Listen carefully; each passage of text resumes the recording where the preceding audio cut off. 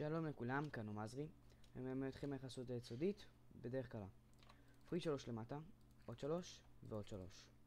עושים פיסטון, פיסטון ובלוק שטוען למסגרת.